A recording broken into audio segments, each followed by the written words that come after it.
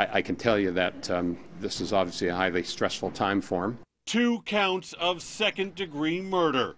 Robert Leeming has been formally charged in the deaths of Jasmine Lovett and her 22 month old daughter, Aliyah Sanderson. The accused and the victims live together here in this southeast Calgary community, a community where residents have started tying purple ribbons to trees, ribbons which represent domestic violence. Back in the courtroom, the 34 year old British national only spoke twice during his CCTV appearance in front of a justice of the peace, using a soft tone to confirm the connection was working and his date of birth.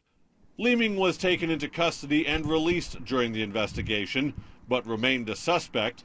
Leeming's defense team says it's too early to know if they'll pursue bail. It's certainly available to us and something that we will pursue if it's, uh, you know, if it's um, if it's reasonable and, and, can be done. We definitely will uh, pursue it. They also weren't sure if there are any safety concerns for their client at the remand center, given the case involves a child it is always um, something that's in your mind uh, for people charged with these type of offenses, and we just hope that the uh, guards at the remand center will do their bit, and uh, and uh, you know the man is innocent till proven guilty, and uh, you know he should be treated the same as anybody else. The formal laying of charges is just the first step in what will be a long and difficult process for everyone involved.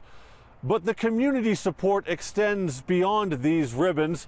An online fundraising page has been set up to pay for memorial services for the mother and daughter.